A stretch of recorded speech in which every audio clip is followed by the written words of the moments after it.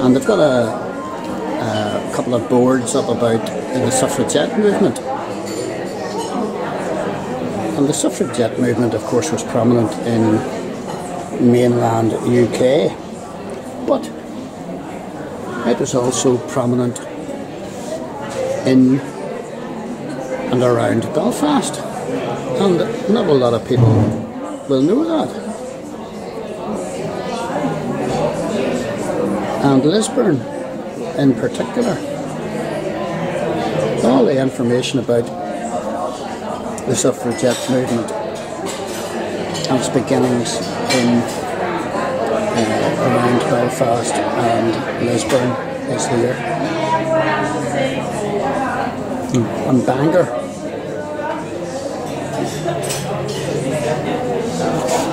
Not a history.